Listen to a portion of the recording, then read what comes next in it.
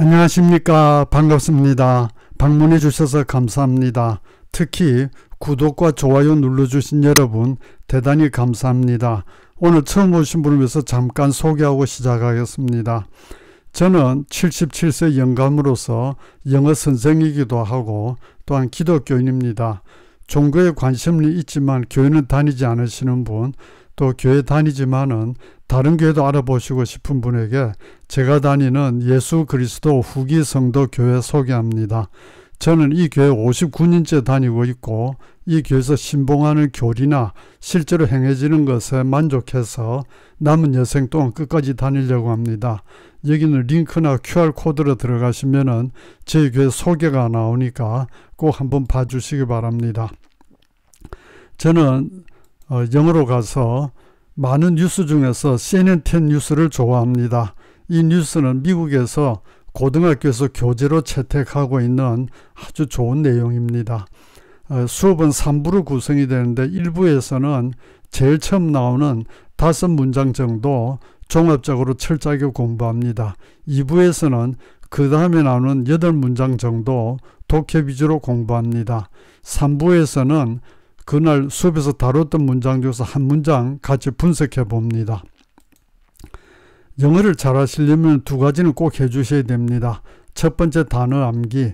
단어를 모르면 아무것도 할 수 있는 게 없습니다. 실력이 중간 정도 되시는 분은 제 수업에서 하루에 외워야 될 단어가 한 10개 정도 나옵니다. 매일 꾸준히 외워주시면 2, 3개월만 지나도 하루에 외워야 될 단어가 5개 정도로 줄어들고 1년 정도 열심히 하시면은 외워야 될 단어가 하나도 없든지 한두 개 나오는 실력이 됩니다. 그리고 문법 공부 꼭 하셔야 됩니다. 문법 몰라도 영어 잘할 수 있다는 건 새빨간 거짓말입니다. 어, 문법을 철저하게 공부하셔야 됩니다. 예를 들어서 문법을 처음부터 시작한다면은 어, 비동사 활용법 할 때 책에 나오는 문법 비동사 관련된 문법을 완전히 숙지하셔서 책을 덮어놓고 동생이나 후배에게 비동사는 이런 것이다라고 친절하고 자상하게 설명해 줄 수 있도록 그렇게 공부하셔야 됩니다. 이렇게 하나하나 정복해서 가정법까지 다 정복을 해야 고급 영어를 잘할 수 있습니다. 문법 모르고 할 수 있는 영어는 yes, no, thank you, I love you, what can I do for you 이런 몇 단어 그냥 조립해서 암기하면 되는 왕초보 수준의 영어입니다. 그거 잘한다고 영어 잘한다고 말하는 사람은 넌센스입니다. 그래서 다시 한번 영어를 잘하시려면 꼭 단어 암기하시고 또한 문법 공부 철저하게 하셔야 됩니다. 현재 적당한 문법책이 없는 분은 제가 쓴 영어는 이렇게 공부하세요 추천합니다. 이 책은 좀 특별합니다. 저는 군대 갈 때까지는 아주 게으른 사람으로서 영어도 밑바닥이었습니다. 군대 가서 정신이 번쩍 들어서 제대하고 나서 영어를 밑바닥부터 다시 공부했는데 당시 형편이 어려워서 학원에도 다니지 못하고 독학으로 공부할 수밖에 없었습니다. 그렇기 때문에 당연히 시행착오도 많았고 시간 낭비도 많았습니다. 그래서 후배 여러분들께서는 시행착오 겪지 않으시도록 제가 시도했던 방법, 많은 방법 중에서 가장 효과 있는 방법을 소개해 놨습니다. 그대로 하시면 틀림없습니다. 그리고 제가 독학하면서 괴로웠던 것 중에 하나는 어떨 때는 문법 설명을 읽어봐도 잘 이해가 안 될 때도 있었고 또 제가 모르는 꼭 알아야 될 부분이 아예 설명이 없어서 참 어디 가서 물어볼 때도 없고 그래서 고생 많이 했습니다. 그래서 저는 이 책을 쓸 때 일단 문법 설명은 누구나 차근차근 읽어보면은 다 이해할 수 있도록 정말 상세하게 설명해 놨고 또한 제가 30년 이상 동시 통역사로도 일하고 번역도 하고 또한 학원 강사로 일하면서 경험했던 꼭 필요한 문법은 하나도 빠뜨리지 않고 다 넣었습니다. 그래서 이 책을 가지고 차근차근 하람대로 열심히 공부하시면 누구나 고급 영어까지 굴사할 수 있습니다. 그런데 한 가지 불행한 사실은 제가 30년 이상 학원에서 가르쳐 보니까 어떤 책을 가지고 혼자서 끝까지 꾸준히 할 수 있는 그런 지구를 가지신 분은 참 희귀하시더군요. 그래서 이 책으로 혼자 공부하시다가 왠지 진척이 잘 안 되시는 분, 또 영어를 빨리 잘해야 될 분은 저에게 여, 여, 전화로 영어 개인 교수 받으실 걸 권합니다. 어, 현재 실력이 완전 밑바닥인 분은 1년 내지 1년 반 정도, 실력이 어중간하신 분은 한 6개월 정도 하면 고급 실력이 될 수 있습니다. 한번 청강해 보시고 결정하시면 되니까 관심 있으신 분은 여기 이메일 주소로 문의해 주시기 바랍니다. 선전해서 죄송합니다. 자, 오늘 8월 6일 방송됐던 CNN 10 뉴스를 가지고 수업을 합니다. 뉴스 청취를 위한 필요 조건 첫 번째는 단어 실력 아까 말씀드렸고 두 번째 단어를 다 알더라도 독해 실력이 없으면은 그 무슨 뉴스인지 못 알아듣습니다. 뉴스 들어보시면은 짧고 쉬운 단어 문장 몇 개 안 되고 대부분 길고 어려운 문장들입니다. 어, 그래서 독해력도 쌓아야 되고 두 번째로 우리가 영어로 말할 수 있는 문장은 잘 들리는데 영어로 말할 수 없는 문장은 잘 들리지 않습니다. 그래서 영작 실력도 쌓아야 됩니다. 그래서 독해력과 영작 실력을 쌓는 방법은 스스로 많은 문장을 번역해보고 영작해 보셔야 됩니다. 선생님께서 해석해 주시고 영작해 주시는 거 구경하듯이 듣는 수업은 지난 10년 해도 효과 없었고 앞으로 10년 해도 효과 없습니다. 그래서 반드시 어, 독해와 영작을 스스로 해보셔야 됩니다. 그래서 제 수업에서는 여러분에게 독해하고 영작할 기회를 계속 드리는데 제가 독해하시라 그러면 꼭 독해해 주시고 영작하시라 하면 꼭 영작해 주세요. 자 이제 오늘 뉴스 한번 들으시겠습니다. 오늘 뉴스는 미국인 아나운서 발음이 아니고 제 발음으로 들으시겠습니다. 왜냐하면 오늘은 한 절반 정도는 소리는 안 나오고 화면에 문장이 올라오고 그 다음에 소리 나는 것들은 이 주인공이 회화초를 굉장히 빠르게 말하는 거기 때문에 어, 아직 공부하시는 단계에서는 불가능한 내용이라서 제가 천천히 어, 제 발음으로 합니다. 잘 들어주시고 Earlier this year, Australian singer Cody Simpson qualified for the 2022 Commonwealth Games. He was selected for Australia's swim team after finishing third in the 100 meter butterfly at team trials. Simpson's career switched to the pool, sees him return to his childhood passion. I remember I could swim before I could walk really. I was born into a family of swimmers that was heavily involved with the professional swimming community here in Australia.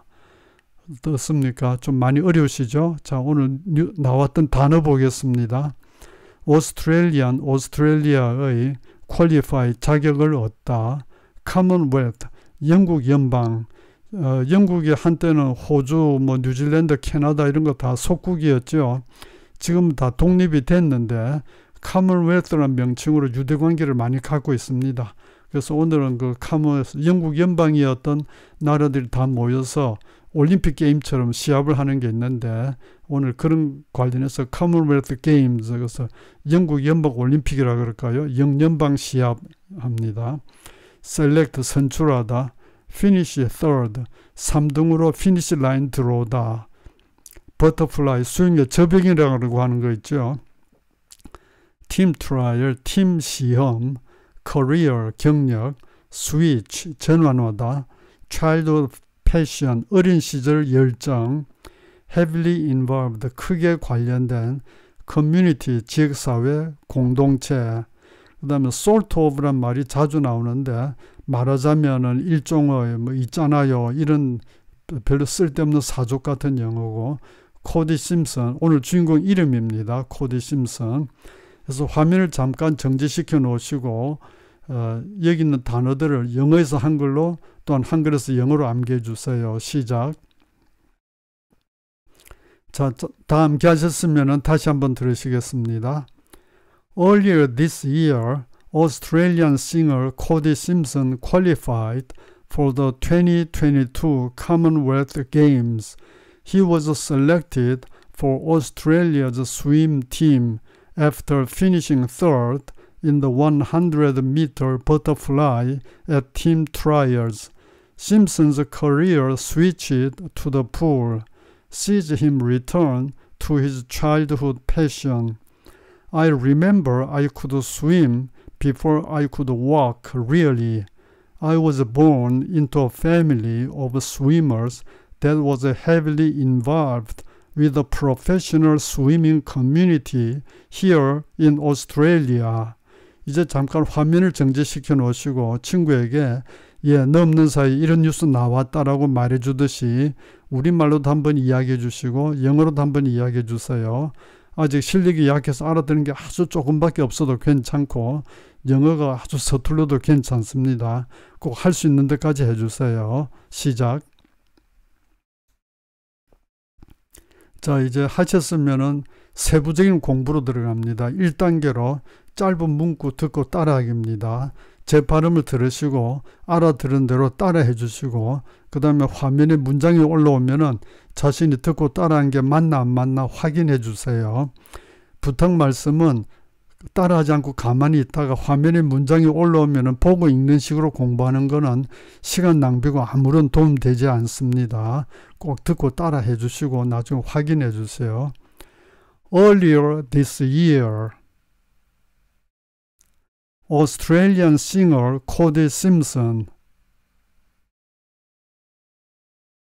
qualified for the 2022 Commonwealth Games. He was selected for Australia's swim team after finishing third in the 100 meter butterfly. At team trials, Simpson's career switched to the pool. Season returned to his childhood passion. I remember I could swim, sort of, before I could walk really. I was born into a family of swimmers. That was heavily involved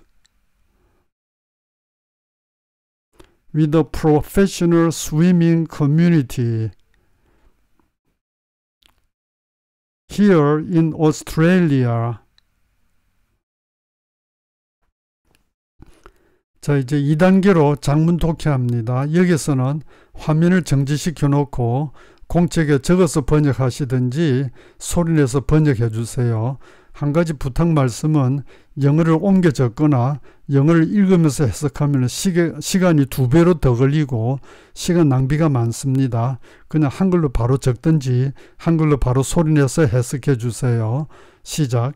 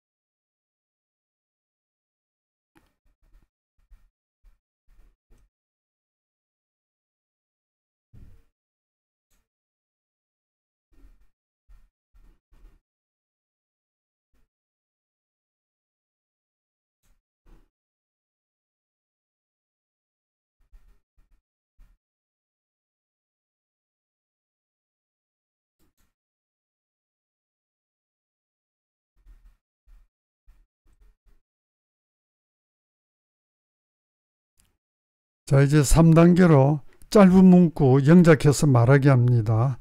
예, 요거 영어로 말하게 해주시고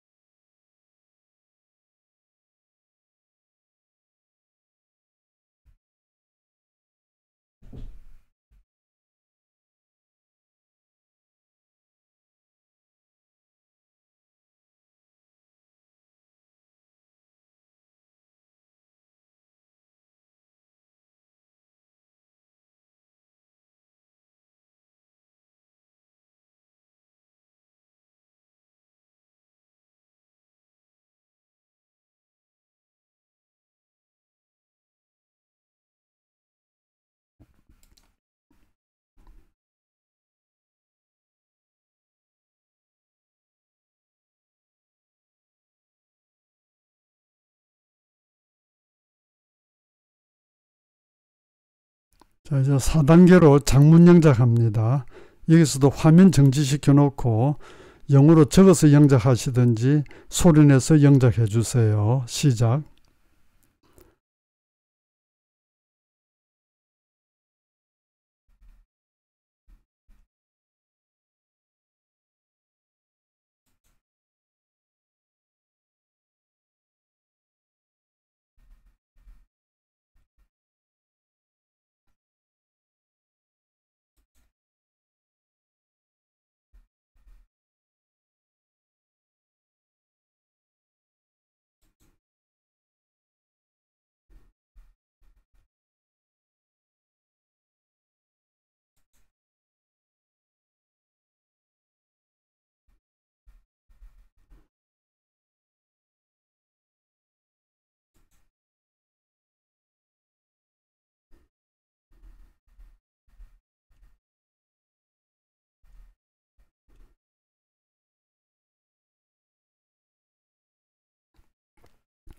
자, 이제 5단계로 첫 단어 보고 한 문장 기억해서 말하게 합니다.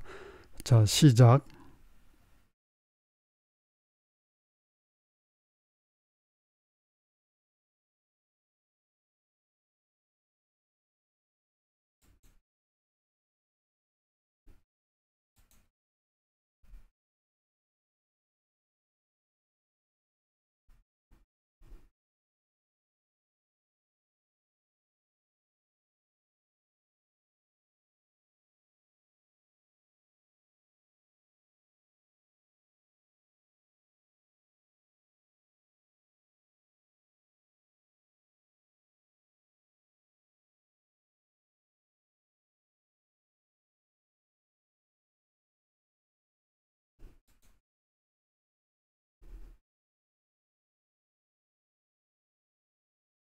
자, 이제 6단계로 요 여섯 단어 보시고 여섯 문장 연속해서 말하게 합니다.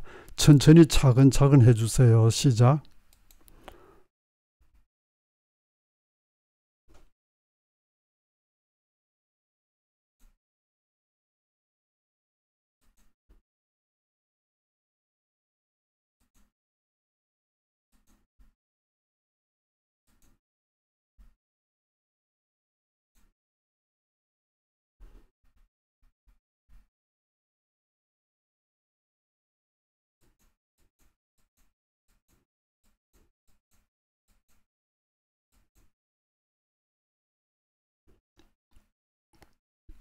자, 이제 2부로 가서 단 문장 번역 위주로 공부합니다. 여기서도 화면 정지시켜 놓고 번역해 주시고 그 다음 다시 플레이해서 맞춰봐 주세요. 시작.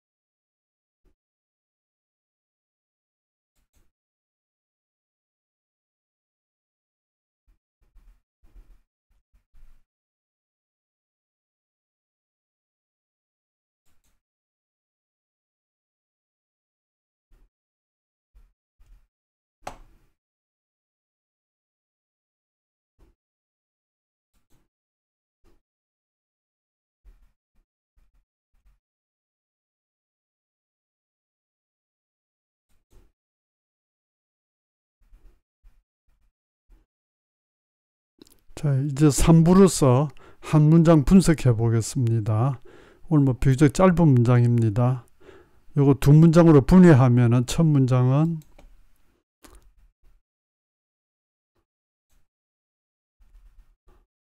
예, 여기까지 자르면 좋겠죠. 뭐 해석은 쉽고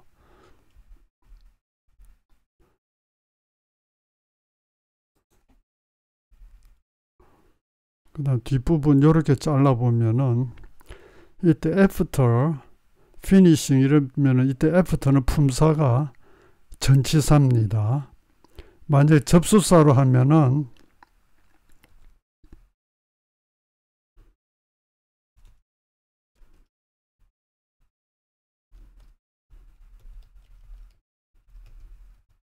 after he finished third 뒤는 똑같고 이렇게 되면 이때 after는 접속사가 됩니다. 그래서 접속사는 두 문장을 연결하는 접속사고 전치사는 어, 뒤에 전치사 뒤에는 반드시 명사가 와야 되죠. 그래서 전치사 finish에다가 ing를 붙여가지고 동명사로서 명사를 만들어 줬습니다. 이 두 가지 뜻은 다 똑같고요.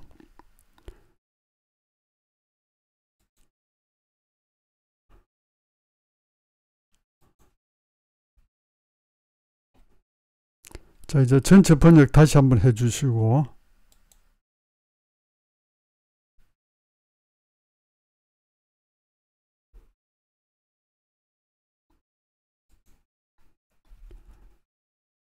자, 다시 한번 전체 영작 해 주시고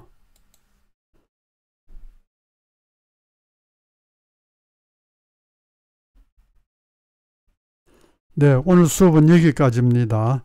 지금까지 착실하게 하라는 대로 따라오신 여러분 너무너무 훌륭하신 분입니다.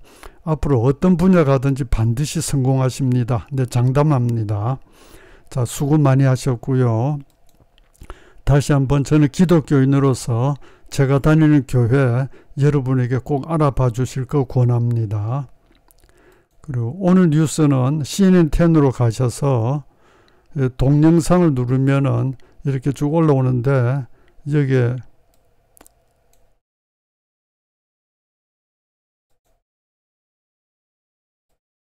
예, 저 앞에 이렇게 저 가수로서 통기타 메고 노래 부르는 것도 있고 수행하는 장면도 있는데 오늘 수업은 요걸 다뤘습니다. 꼭 이거 찾아가셔서 봐주시기 바랍니다. 수고하셨습니다. 감사합니다.